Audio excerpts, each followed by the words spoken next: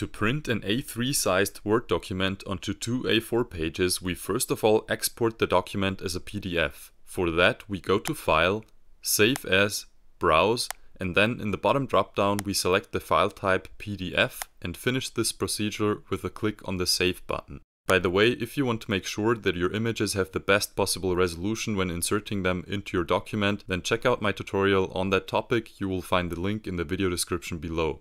After we generated the PDF file, we open the PDF in the free Adobe Acrobat Reader, which is usually installed on almost any device. Here we then open the menu and click on Print.